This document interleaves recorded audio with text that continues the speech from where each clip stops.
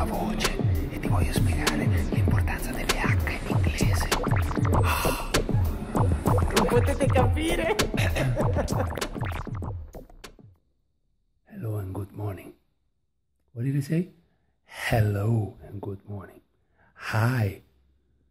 Questi sono i due suoni più sbagliati dagli italiani all'estero. Siamo veramente ridicoli quando andiamo in giro e diciamo hello oppure diciamo hi perché il suono hello in English praticamente non esiste. Il suono I è come se tu vai in giro e dici io, io, io, io, invece di dire ciao, ciao, ciao.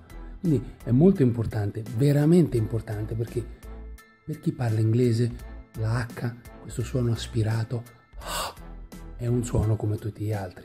Anche se per noi italiani magari non è percettibile, dobbiamo abituarci ad usarlo per renderci comprensibili. Quindi già dal primo momento, già dalla stretta di mano, quando diciamo hi oppure diciamo I, si nota subito la differenza e si crea subito un primo impatto. Il primo impatto con un bel hi è smooth, cioè fluido, senza intoppi.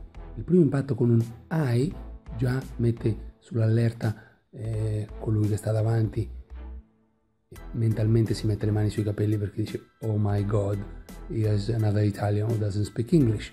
Dice oh mio dio, c'è un altro italiano che non parla inglese. Quindi approfittando di questa calo di voce che io ho oggi, eh, provo ad insegnarti una cosa che posso fare tranquillamente, anzi maggiormente in un momento di calo di voce, perché il suono ah, non ha bisogno di voce, non è un suono, ma è un'aspirazione.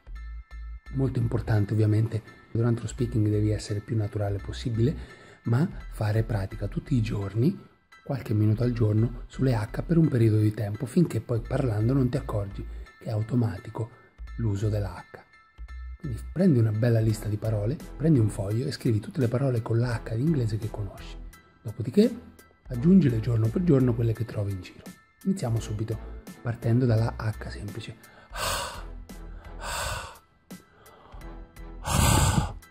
Esatto, devi appannare lo schermo. Se lo schermo è appannato o gli occhiali sono appannati usando gli occhiali, vuol dire che stai facendo bene. Ok, partendo da qui, prova a dire la prima parola in assoluto. Hi. E poi hello.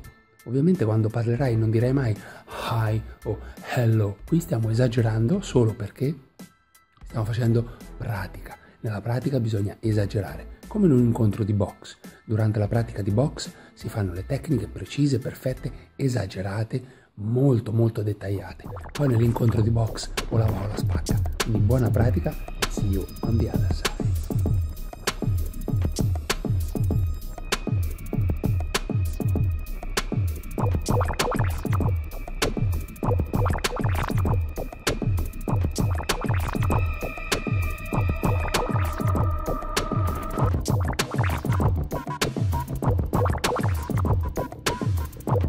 Thank